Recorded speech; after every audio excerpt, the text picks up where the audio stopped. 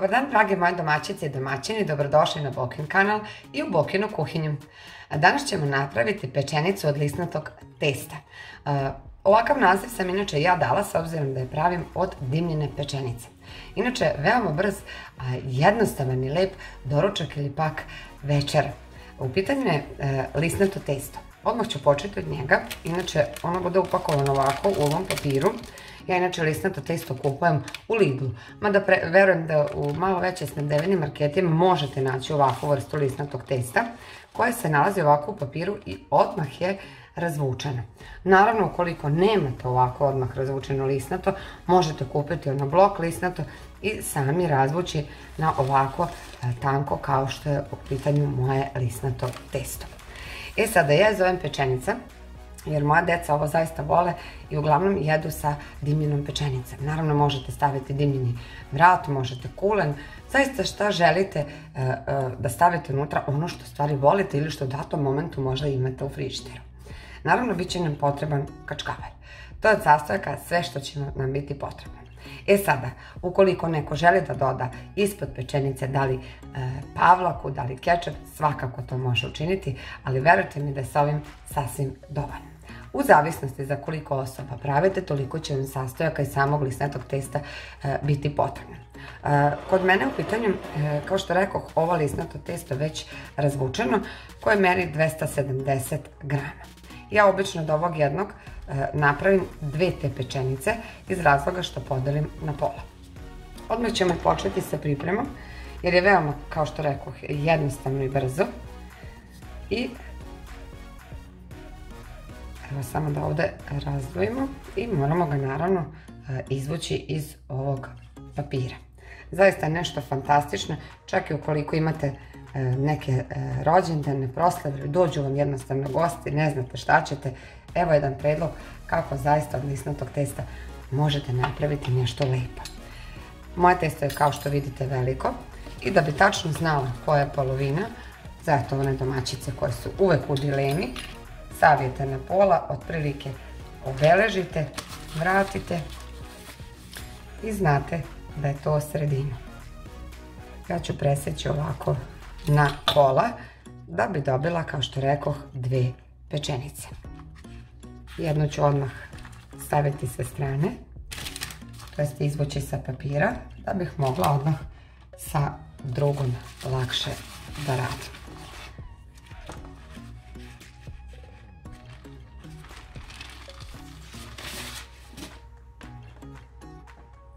Kada dobijete ovako jedan, da kažemo, pravogonik, potrebno je sada blago u jednakim trakicama zaseći sa jedne i druge strane trakice koje ćemo na samom kraju uplesti.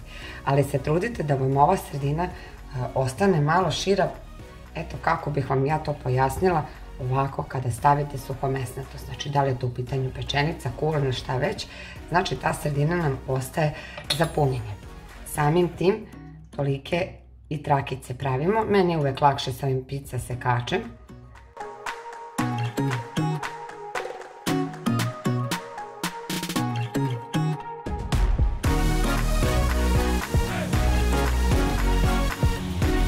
kada ste ovako isekli ove trakice, ja ću koristiti pečenicu, ne stavljamo puno, koliko samo da popunite ovu sredinu. Preko pečenice potrebno staviti kačkavalj koju sam ja prethodno ovako isekla na tanje listiće. Svakako možete koristiti i one gotove već isečene listiće. I s obzirom da moje devojčice vole da ovdje ima dosta e, kačkavalja, tako da ja uvek dodam e, malo više. Ali svakako ne treba e, preterivati u sastojcima. Evo ovdje ću još malo. I sada pletemo. Malo nakoso, jednu trakicu preko druge. Trudite se samo da ova, ovaj ćošak, tako da kažem, ivica, ide do same pečenice i unutra da vam ide preko ove sljedeće trake koji ide da bi prilikom pečenja fino testo kada nadođe ne bi došlo do otvaranja i da se trakice, to je stisnuto testo, otvori.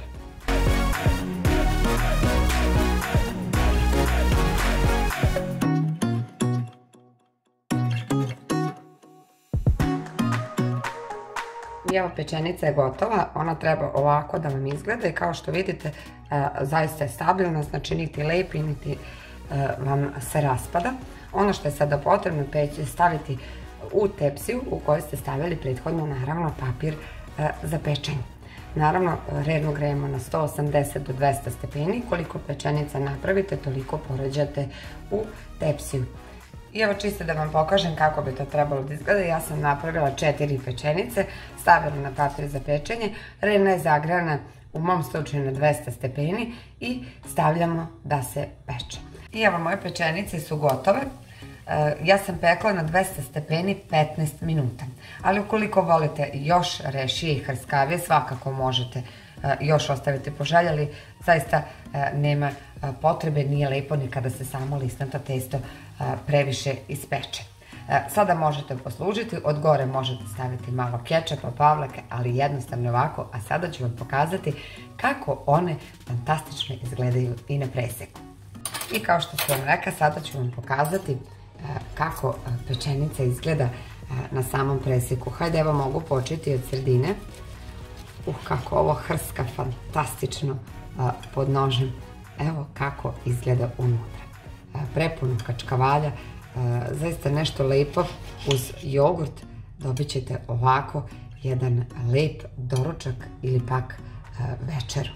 Ovo je zaista vruće, tako da ja ne mogu izvršiti sada degustaciju da probam, ali koliko toliko da se ostavi, da se prohladi i nadam se da ćete ovo svakako probati da napravite, da će vam se naravno i ovaj današnji recept dopasti, a ukoliko vam se dopadne, ostavite mi koji komentarić, naravno lajkić i vidimo se već u nekom sljedećem videu sa nekim još lepšim receptom. A do tada, prijatno!